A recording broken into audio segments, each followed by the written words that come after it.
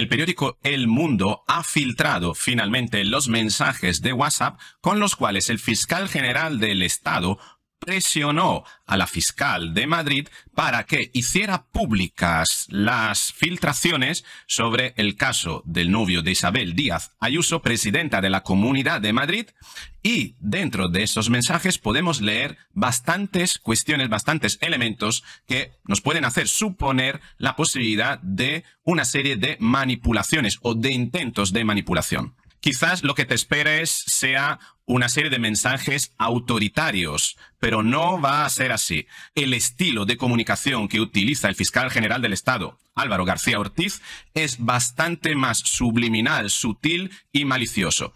Y lejos de parecerse a algo autoritario, hasta podría parecerse algo amigable y justo, si es que no fuera que está induciendo a una persona a delinquir para saltarse la ley. Así que quédate conmigo en el vídeo de hoy porque vamos a ver cómo muchas veces nos manipulan a través de los mensajes, a través de una serie de comunicaciones que son aparentemente inocuas, hasta parece que están hechas para nuestro propio bien o para el bien de terceros, pero en el fondo lo que están haciendo es empujarnos a actuar en contra de la moral, en contra de la ética o incluso en contra de la ley. Así que venga, vamos con el vídeo.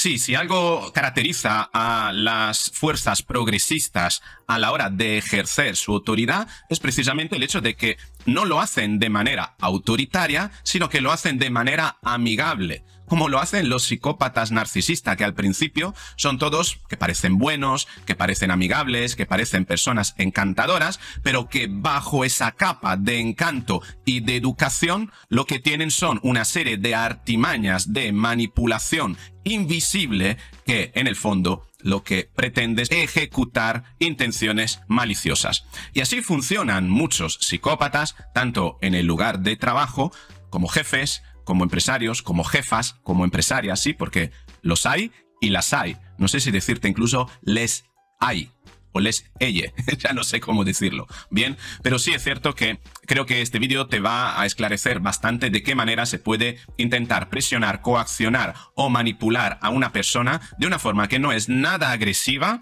pero que en el fondo lo que está haciendo es inducir a una persona a cometer un delito. Bien, o incluso tenerla como cómplice. Hablemos de un supuesto delito porque todo esto no está eh, tipificado todavía por una sentencia de un juez, pero que duda cabe de que eh, aquí, mm, lejos de querer exculpar o quitarle responsabilidad a la fiscal de Madrid, lo que debemos tener en cuenta es toda la línea de mando. Porque esto, mira, se parece a como cuando los soldados nazis que ejecutaban el disparo en la nuca, ¿no? Para que eh, matasen a judíos, decían que no, ellos simplemente cumplían órdenes, ¿no?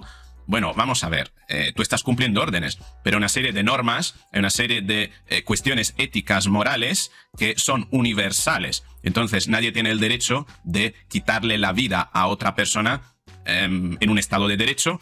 Incluso si hay pena de muerte, si se hace, tiene que hacerse con arreglo a una sentencia a norma de ley, como sucede en los Estados Unidos, ¿no?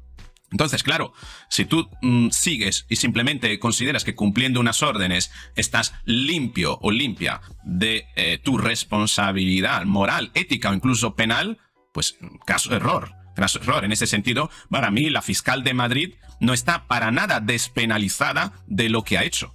Y ojalá se le juzgue y, se, y la justicia mm, finalmente emita una sentencia y si hay pena, pues que esta persona pague por su pena. Pero también es cierto que habrá que valorar cuál es el nivel de responsabilidad del fiscal general del Estado al hacer uso de su autoridad para inducir lo que en psicología se llama un sesgo de autoridad en su subordinada con el fin de hacerla sentir habilitada para actuar en contra de la ley, supuestamente en contra de la ley, y hacer lo que hizo, que fue dar la orden para divulgar una información confidencial de un particular. En ese sentido, la fiscal de Madrid apretó el gatillo, si queremos utilizar el símil del soldado nazi.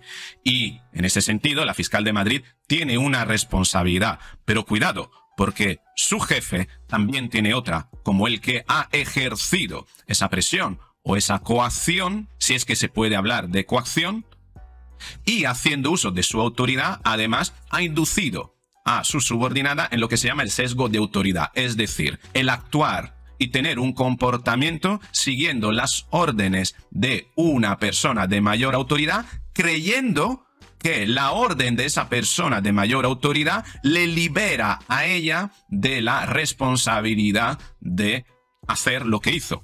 Fíjate que en los años 60 se realizó un experimento en el que había una serie de personas conectadas con unos electrodos a unas sillas y se le hacía creer a un, eh, al, sujeto de la experimentación que eh, disponía de una serie de eh, botones con el que podía darle una descarga eléctrica y subir la intensidad de la descarga eléctrica a esas personas que estaban sentadas en esas sillas. Bien, esa persona que estaban sentando en esa silla realmente eran unos actores y tenían que actuar como si se estuvieran, como si estuvieran recibiendo una descarga eléctrica de verdad. En efecto, la silla no estaba conectada con ninguna fuente de electricidad como para que le diera realmente una descarga eléctrica, pero se le hacía creer esto a la persona que tenía una serie de botones. Bueno, hicieron el experimento eh, pidiendo a la persona que apretara el botón, siendo ella siendo, eh, digamos, eh, el, eh, digamos, el sujeto de la, del experimento, la persona que tenía la autoridad para poder decidir si dar o no una descarga y en qué intensidad. Y con esto probaron una serie de sujetos de experimento. Y este era el grupo, como se llama, el grupo de control experimental. Pero había otro grupo de personas que actuaban no en base a su propio criterio, sino en base al criterio de una persona de mayor autoridad, un supuesto experto, que le decía que esas personas que estaban sentadas en la silla podían aguantar, según la ciencia, una intensidad de descarga mucho mayor.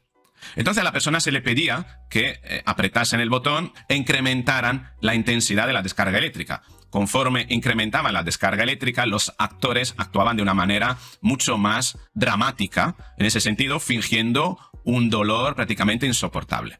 Esa persona tendían a parar cuando notaban que la persona sufría. Pero la persona de mayor autoridad, que tenía la responsabilidad de dar órdenes a la persona que manejaba la manopla le decía, continúe, continúe, yo asumo la responsabilidad. Ellos pueden aguantar mucho más, no les va a pasar nada. Bien, ¿qué habrá pasado entre los dos grupos experimentales? Que las personas que seguían las órdenes de una persona de mayor autoridad mostraron una mayor predisposición a mandar descargas de mayor intensidad respecto a aquellas personas que no tenían delante a una persona de mayor autoridad que les ordenaba incrementar el nivel de descarga. Este experimento demostró lo que se llama el sesgo de autoridad, es decir, que las personas movidas o inducidas en su forma de actuar por personas de mayor autoridad tienen mayor predisposición a comportamientos irresponsables incluso delictivos, porque declinan en el fondo su responsabilidad, creyendo que la verdadera responsabilidad de lo que están haciendo la tiene la persona de mayor autoridad. Y esto parece ser que ha ocurrido en, eh, la Fiscalía General del Estado y en la Fiscalía de Madrid. Y aquí tenemos los mensajes del fiscal general del, del Estado que manda a la fiscal de Madrid la fiscal Almudena Lastra a hacer lo que finalmente hizo la eh, fiscal. Fíjate, aquí tenemos la, em, aquí tenemos la línea de mensajes. Em, esta es la, hora de la mañana, por tanto los mensajes sido, han sido enviados en horario laboral, ¿vale? Aunque sea por WhatsApp. Y dice, esto lo dice em, el fiscal general del Estado. Ya tenemos la nota consensuada con Pilar y Virna que Íñigo la dé cuanto antes. Será el responsable de prensa de la fiscalía. Y después, fíjate, la 903. Es una orden sin ni siquiera un por favor, ni siquiera un gracias. No recibe respuestas el fiscal general del Estado y tres minutos después dice gracias. Es decir, que el fiscal general del Estado estaba apremiado a que esto saliera y buscaba una respuesta por parte de la fiscal de Madrid. Estuvo tres minutos esperando y como no recibió respuesta, quiso hacerlo de una manera sutil, presionar de una manera sutil diciendo simplemente un gracias a modo de que le saltase la alerta a la fiscal de Madrid. La verdad que si me lo hicieran a mí, Eh, el fiscal general del Estado podría estar esperando hasta días. Yo tengo todas las alertas desactivadas, todas las eh, marcas azules desactivadas. Eh, y hasta incluso, esto no lo puedo, porque WhatsApp no me permite hacerlo, pero si hubiera una posibilidad de que WhatsApp me permitiera o permitiera a otras personas ver si estoy en línea o no, es decir, me permitiera ocultar si estoy en línea o no, desde luego la tendría. ¿Por qué? Porque yo precisamente no quiero recibir esas presiones. Y el WhatsApp, si es algo em, digamos, eh, importante, espero que la persona me llame y se comunique conmigo en voz, si es tan importante. Pero claro, esto es lo que hizo el fiscal general del Estado. Pero ¿qué es lo que ocurre? Que la fiscal de Madrid no quería una conversación por teléfono. ¿Por qué? Porque las palabras de la conversación por teléfono se la lleva el viento la fiscal de Madrid lo que quería que quedase constancia de la presión o de la orden del fiscal general del Estado, razón por la cual ella no contesta, no dice que sí para evitar admitir su propia responsabilidad, ni tampoco opta por descolgarle el teléfono al fiscal general del Estado que estuvo llamándola. Fíjate, a las 9 y 25. Almudena, la nota está correcta en fechas y contenido hay que sacarla.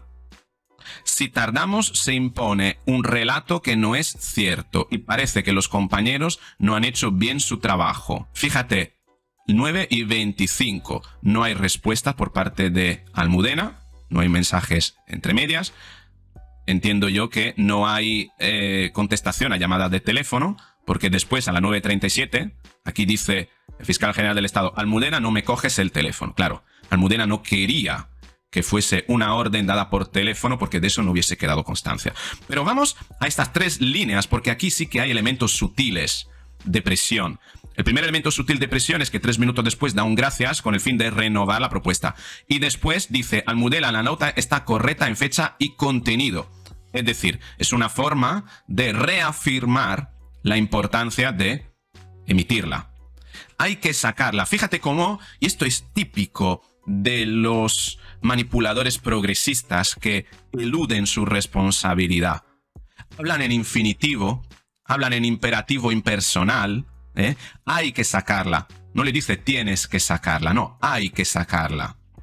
Como tratando de despersonalizar, como si la cosa no fuera con él ni que fuera con ella, sino que fuera con la ley. Como que hay que cumplir la ley. Fíjate que es muy diferente si yo te digo tienes que cumplir la ley, porque si yo te digo tienes que cumplir la ley, te sientes como presionado por mí. Pero si yo te digo hay que cumplir la ley, es una forma de imponerte algo sin que se note que te lo estoy imponiendo yo. ¿Por qué? Porque es algo que es comúnmente aceptado, por así decirlo. Y luego dice, si tardamos, se impone un relato que no es cierto. Aquí se tiene que referir a algo que estaba comentando en su momento el jefe de prensa de Isabel Díaz Ayuso. Y parece que los compañeros no han hecho bien su trabajo. Y aquí el fiscal general del Estado utiliza la técnica de la triangulación para presionar a la fiscal de Madrid. ¿Qué está haciendo aquí el fiscal general del Estado? Está triangulando, es decir, está introduciendo un elemento externo que sea un elemento de presión para que el segundo término de la relación, que es la fiscal de Madrid, se sienta presionada no por el fiscal general del Estado, sino por ese elemento tercero que va a ejercer esa presión que el fiscal general del Estado no quiere hacer parecer que la está ejerciendo él. Y en este caso son los compañeros. Fíjate, hay que sacarla. Si tardamos, se impone. Impersonal, se impone. Un relato que no es cierto y parece que los compañeros no han hecho bien su trabajo. Es decir, aquí le está diciendo el fiscal general del Estado a Almudena Lastra, a la fiscal de Madrid, que si no emite esa nota de prensa, ella será responsable de que unos compañeros queden perjudicados. Está tratando de hacer sentir culpable a Almudena Lastra de no emitir esa orden, de no cumplir con esa presión. Y lo está haciendo no ejerciendo él la responsabilidad de esa presión, sino metiendo a tercera persona que no están en esa conversación con el fin de que funcionen de elemento de presión. Es brutal esto. Esta es una típica triangulación que utiliza un manipulador, una manipuladora, un maquiavélico, una maquiavélica. Meter a una tercera persona que no está en el momento, por tanto que ni se puede defender, ni puede confirmar, ni puede desmentir, pero que simplemente por estar se convierte en un elemento de presión para coaccionar al otro término de la relación para hacer aquello que le interesa al primer término de la relación. Y fíjate después, es imperativo sacarla. Claro, es imperativo sacarla y lo dice ahora porque ha metido a los compañeros en esta relación. Fíjate cómo hubiese cambiado el, orden, si hubiésemos cambiado el orden, eh, como este imperativo sacarla hubiese, se hubiese atribuido a él, al fiscal general del Estado y no a los compañeros. Es decir, después del Gracia, decirle a Almudena, la nota está correcta en fecha y contenido. Es imperativo sacarla. Ahí Almudena se hubiese sentido presionada directamente por el fiscal general del Estado. Pero al meter esta frase de por medio, hay que sacarla, si tardamos en poner un relato que no es cierto y parece que los compañeros no han hecho bien su trabajo, y después es imperativo sacarla, convierte ese imperativo no en un imperativo que proviene del fiscal general del Estado, sino que hace creer a Almudena que proviene de la ética o del buen compañerismo necesario para dejar o para evitar que unos compañeros queden como perjudicados. Nos están dejando como mentirosos. Fíjate, otra triangulación. En este sentido, está tratando de abocar a un enemigo externo como posible peligro que de no ser neutralizado, al final condicione a toda la unidad. Está tratando de utilizar aquí el fiscal general del Estado como arma de manipulación la presencia de un enemigo externo para hacer sentir a Almudena Lastra que forma parte de un equipo del que tiene que mostrar o con el que tiene que mostrar compañerismo. ¿Y cómo va a demostrar compañerismo? publicando esa nota de prensa. Fíjate que este nos están dejando como mentiroso viene tres minutos después. Quiere decir que el fiscal general del Estado se está recreando en el tiempo, está esperando respuesta, está pendiente del teléfono, viendo cuál es la respuesta y no la está obteniendo. Está obteniendo como respuesta el silencio. Y fíjate el nivel de presión al que tuvo que estar sometida Almudena Lastra, porque le dice a las 9.37 de la 9.28 a la 9.37, nueve minutos después. Almudena, no me coges el teléfono. Si deja, fíjate como aquí también manipula. Porque está acusando a Almudena de no cogerle el teléfono. Está una vez más haciendo sentir culpable a Almudena Lastra de no cogerle el teléfono. No le está diciendo, Almudena, te estoy llamando. Almudena, contéstame por favor. No, le dice, Almudena, no me coges el teléfono. Una forma muy sutil de manipular haciendo sentir culpable o señalando el comportamiento negativo que está teniendo la otra persona a no cogerle el teléfono. Si dejamos pasar el momento, nos van a ganar el relato. Y aquí utiliza el sesgo de la urgencia. Es decir, todo aquello que urge normalmente se confunde como algo que es importante, aunque sabemos que hay mucha diferencia entre lo que es urgente y lo que es importante. Pero claro, el sesgo de urgencia muchas veces hace actuar a las personas de acuerdo con lo conveniente para quien señala esa urgencia y no lo importante para quien tiene que actuar. ¿Vale? Y fíjate, aquí hace palanca en otro sesgo, que es el sesgo de urgencia. Si dejamos pasar el momento, nos van a ganar el relato. Están tratando de meterle urgencia, ¿por qué? Porque la mente humana, cuando actúa en base a la urgencia, no razona. Por tanto, si yo te presiono poniéndote urgencia en lo que tienen que hacer, básicamente lo que estoy tratando de hacer es anular tu sentido crítico porque preso de la urgencia lo que se activa es un comportamiento de supervivencia, ataque, huida, por tanto un comportamiento rápido, impulsivo, que no está sujeto al espíritu crítico, a la razón. El ser humano cuando actúa en base a la urgencia actúa movido por un mecanismo que se llama mecanismo de pensamiento rápido que está siendo gobernado dentro del cerebro por la amígdala. Y la amígdala cuando se activa tiene una componente que hace efecto interruptor con respecto a la corteza cerebral, la corteza prefrontal. Cuando se activa la amígdala, se desactiva la corteza prefrontal. ¿Y esto qué significa? Teniendo en cuenta que la corteza prefrontal es la encargada del pensamiento razonado y del espíritu crítico de la planeación. Es decir, que si yo te empujo a actuar de manera urgente, estaré activando la amígdala y por tanto desactivando tu corteza prefrontal o contribuyendo a que esto suceda y por tanto estaré tratando de anular tus capacidades críticas como para qué razones, planees, valores si conviene o no conviene actuar de una manera o de otra. Si dejamos pasar el momento nos van a ganar el relato. La actuación de los compañeros y de la fiscalía es impecable y hay que defenderla. Fíjate otra vez con un imperativo impersonal. Hay que defenderla. Fíjate cómo en toda la conversación del fiscal general del Estado hay bastantes elementos de manipulación. Primero, hablar de manera impersonal para quitarse de la ecuación y hacer pensar que él no está presionando. Segundo, insistir, insistir a través de mensajes y a través de llamada de teléfono. Me gustaría saber en ese transcurso entre las 9.28 y las 9.37 cuántas llamadas ha recibido Almudena Lastra de fiscal general del Estado. Sería curioso saberlo para ver la intensidad de esa presión. Está utilizando una triangulación, está tratando de hacer sentir culpable a Almudena, está utilizando una segunda triangulación identificando un elemento, eh, un enemigo externo para generar un sentimiento de compañerismo en Almudena. Está tratando de hacer sentir culpable a Almudena de no coger el teléfono, sexta.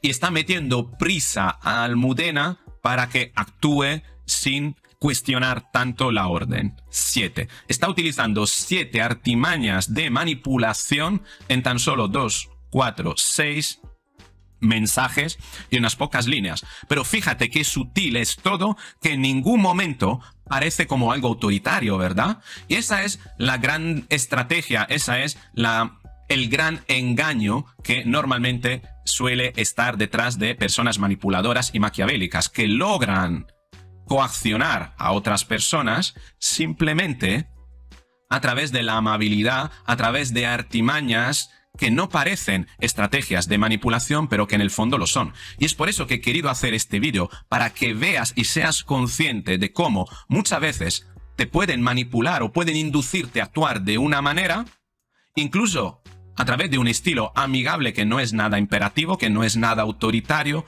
pero que en el fondo no es exento de malicia y de intereses con el fin de utilizarte para conseguir ellos sus propios fines. Espero que esto te sirva, te sirva de eh, ayuda para ver cómo se puede aplicar en el trabajo, en la vida personal, en las relaciones de pareja, porque esto sucede a diario.